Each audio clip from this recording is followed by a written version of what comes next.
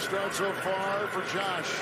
Allen looks and fires, and oh, it may have been picked off and out of bounds. Probably it was, but what a play by cornerback Byron Jones. They missed him early in the season. When he's come back, the defense plays better. His numbers show that. Well, he's a big free agent acquisition in the offseason, and he nearly comes up with the interception. You see, by the time he controls the football, is when the foot comes down out of bounds. Josh Allen's prevented making